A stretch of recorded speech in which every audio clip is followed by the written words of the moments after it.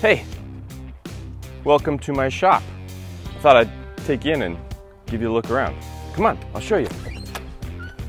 This video was made possible by NordVPN, but I'll tell you a little bit more about them later on in the video. Hey, quit listening to the ad roll and get in here. I don't have all day. Come on.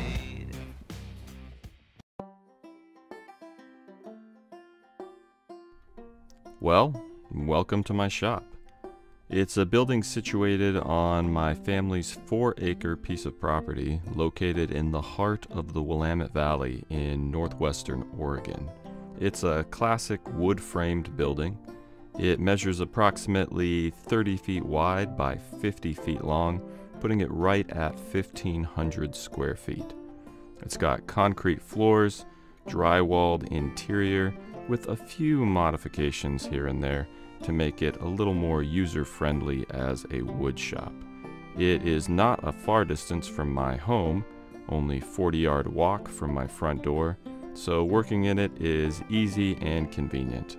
And to be completely honest, I probably spend way more time in my shop than I do in my actual home. My family suffers greatly for it.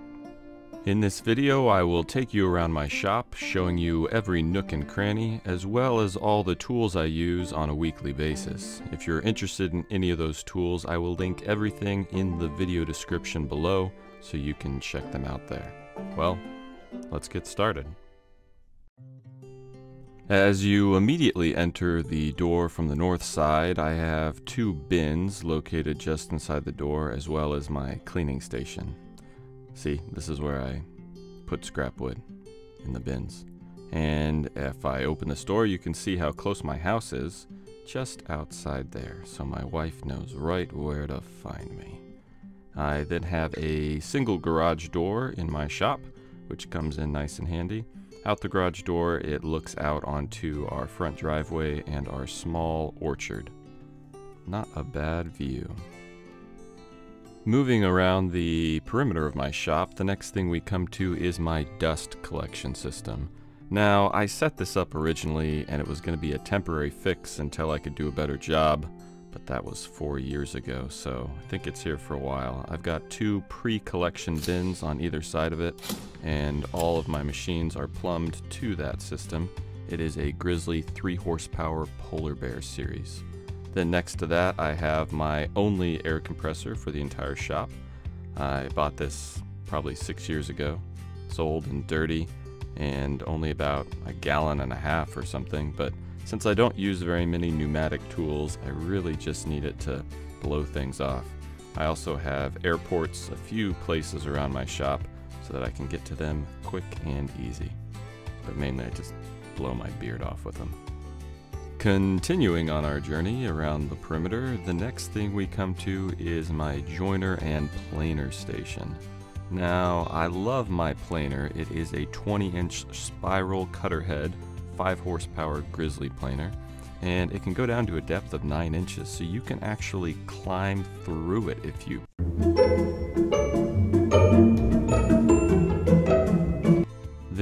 right next to my planer is my 3 horsepower 8 inch spiral cutter head joiner, also from Grizzly. Between these two machines I can pretty adequately mill down any stock that I need to in my shop. Then behind those I have a fancy screw put into the wall to hang my tracks for my track saw. Next to that a few step ladders to make myself a little bit taller. And a crosscut sled, oh, a picture of a whale because why not? And then I've got a few little organization systems. These mainly just catch all the random little fasteners and doohickeys I have laying around my shop and don't know where to put them. Continuing on our journey, we next come to my CNC machine. Now, to be completely honest, I have absolutely no idea how this thing works. In fact, I've never personally made it work. I've only done one project with the CNC machine, and that was the bar face for my own kitchen. And I actually had my friend Gary do all the work for that because, like I said, I do not know how to use this machine. Maybe one day. Before I got the CNC machine, I made this fancy drill holder behind it. but then when I put the darn CNC machine there, it made it really hard to get to the drills. But since I'm incredibly lazy, I've not taking the time to move it somewhere else, so I found a hack. I just walk over to the side and then I can reach the drills. Then in the corner right next to the CNC machine, I just shove all my random scrap pieces of ply that are too big to throw away, and who knows, I might need them someday. And then there's another door that goes out onto a covered patio. I have dreams of converting that one day into just a complete wood storage shed that I can access from inside the shop. Right next to that door, I've got my Grizzly lathe. It's an 18 by 47 inch. I got this about a year and a half ago, and I'm still working on my technique and figuring out how to use it. Above that, I've got my Jeremiah Johnson poster, which is my favorite movie. That's far enough, Pilgrim. Such a good movie. But I'm very excited about my lathe and still very much learning how to use it. Next to the lathe, I have this chair I made, which I sit in sometimes and just randomly stare at my phone or iPad. I do a lot of procrastinating in this chair. And then on the other side of the lathe, I have a grinder set up for quick access to so I can sharpen all of my skews and random chisels that I use on the lathe. Then moving on, right next to my lathe, I have my calendar slash organization system. Basically, each job I have coming up gets a clipboard with all the pertinent information on it, and then each clipboard gets a tentative date on the calendar. As you can see by those months, I do a really great job of keeping this up to date.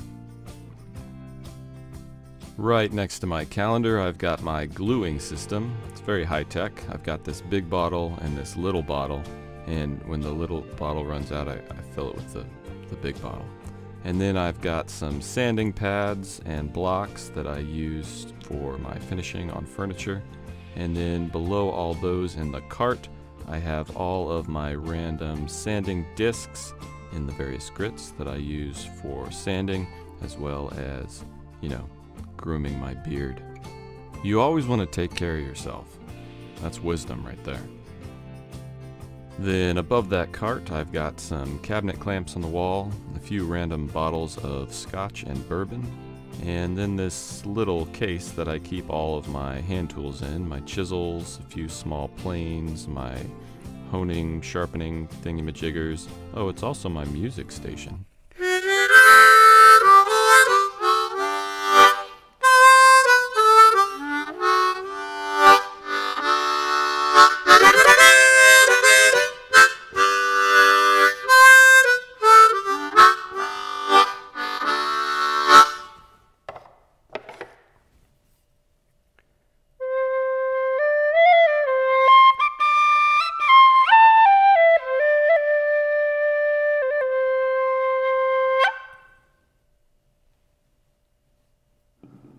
Let's take just a break from the shop tour so I can tell you who made this video possible, and that is NordVPN. What the heck's NordVPN, you might ask? Well, NordVPN is a virtual private network service. So let me put this in terms that you might understand. Say you're working in your shop late one night and a ninja walks in the door.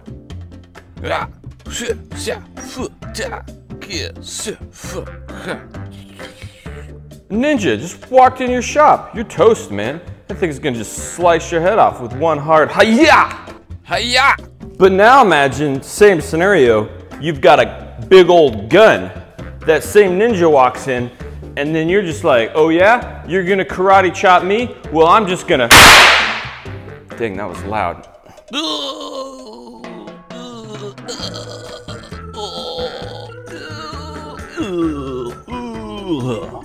Boom, dead ninja. Now how does this relate to a private network service? Well, NordVPN does the exact same scenario, but online. Let's say you're in a coffee shop and there's hackers and viruses just floating around waiting to get in your computer.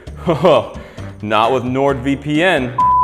You ever travel abroad and you try and open up your computer and let's say get on Netflix or one of your other favorite entertainment sites and you can't do it because it's not your country. Well, with NordVPN, you can. no data logging, 24 hour customer service. It even works in China, people. And get this, this is the best part. Right now, you can get two years of NordVPN for only $89. That's like 371 a month. In fact, that's 68% off what you would normally pay. And if you thought it couldn't get any better, you can get a whole additional month for free just by using my special link that I may or may not give you. I'm just kidding, I'm gonna give it to you. It's in the video description, very top. You just click that link, boom, with Nord NordVPN, MVP, VPN. Back to the shop tour video. That was interesting. Moving on, we then come to my wood storage, clamp storage, marking gauge storage. Basically, I've got these barn doors that I installed. On the left side, I have all my measuring and marking gauges. Most of them are, well, all of them are from Woodpeckers Tools. They make very quality products. I've got my straight edges, my edge guide thingamabobs, and then on the right side I've got all of my clamp storage. You can never have too many clamps. Well, just one more. Then behind the barn doors I have all of my in-shop wood storage. Oh, what's that doing there? Anyways, on the, the right side back there, I can store sheet goods, and then on the left side, I have all my smaller pieces. I also was able to remove the ceiling in this portion of my shop so that I could store my wood vertically and go past my 9.5 foot ceiling limit, and I can store pieces all the way up to 16 feet if I need to. Who needs ceilings anyways? What a pointless thing, ceilings. Continuing on, we next come to what I like to call my, um, I guess my finishing station. It's this little cabinet unit that I built. It holds handy things like rubber gloves, in case you don't want to get your fingies dirty. And then in the cabinets, I got all my various finishing products. Rubio Monocoat is my go-to, which also, fun fact, is supposed to be edible. But nah, I would not recommend it. Tastes horrible. And I also have things like foam brushes and stir sticks. And you know, you have to have a drawer with random fasteners every now and then. And then I've got this paper towel holder I bought online. But then I ran out of the paper towels and I didn't want to buy more. So I just use the same box and shove it full of old rags. And first aid kit because safety, you know, it's important. And I also have a sink so that I can wash things off or, well, I guess drink like a dog out of it. And that is my finishing station. Let's move on. Right next to that, I have this awesome little area of my shop. This store leads to, well, the bathroom. I won't show you any action shots in there. Don't want to give you nightmares. And then right above that, I have my custom pull-up bar. What's a custom pull-up bar, you might ask? Well, I was having trouble doing pull-ups, so I needed a little motivation. So I had this custom pull-up bar made up that holds a can of beer and a straw. That way, at the top of every pull-up, you get a little incentive treat in the form of a nice cold sip of beer. It works wonders. And then I got a dartboard for leisure time, and recreation. Then right next to that, I've got this router table that I actually just set up like a week ago. It's a Woodpeckers router table, super nice. Still trying to figure out what all these things are for.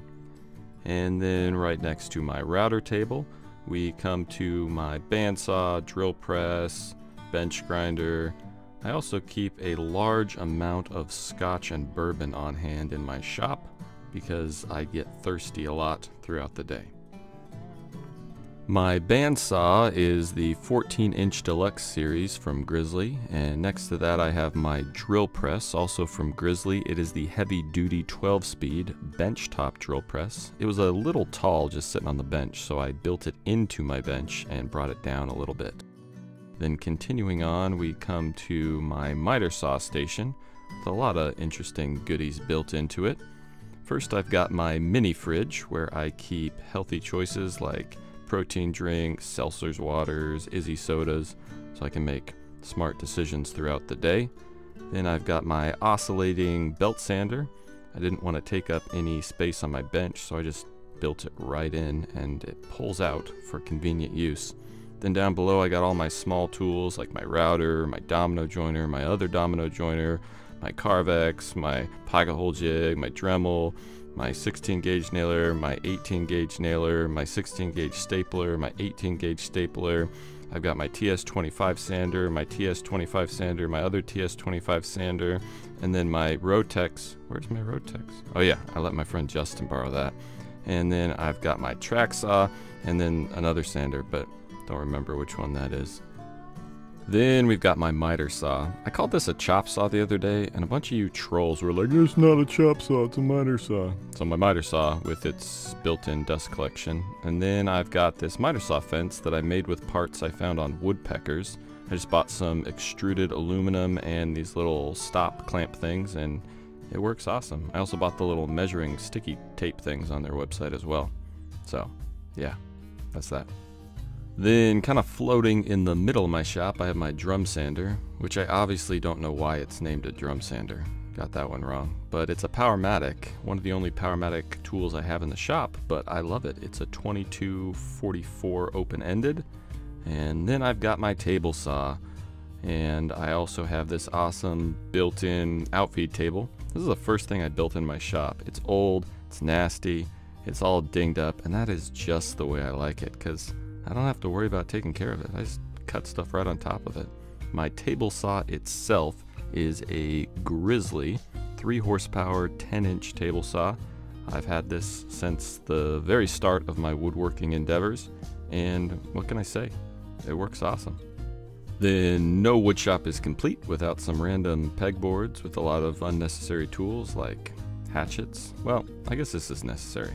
I use my rubber mallet all the time. I love this thing and my Japanese pole saws. I use these like crazy. If you never use these, get some. I use them for like flipping burgers. I love them so much. Then at the end of my miter saw station, this is where I just pile random things like coffee mugs, this random bottle of some weird powder. Oh, I also have a knife, just in case anyone breaks in while I'm trying to build a table. You know, safety again. And that brings us back to the door which is mostly used by my five-year-old son Ivor. He likes to come in about 25 times a day and ask if I'm done working yet and if I'm ready to come play. Most of the time I just say yes. And don't worry, I did not forget the most used surface in my entire shop are my work tables. I custom built these work tables to work just how I wanted them. I needed something mobile that I could move around out of the way in case I needed to do bigger pieces. Each workbench has a total of 18 drawers built into it for plenty of storage for all my random things. And then the top is covered with holes so that I can, you know, include a wide array of accoutrements such as clamps and blocks for cutting things on top. And there's a quarter inch sheet underneath so none of the dust goes down into the drawers.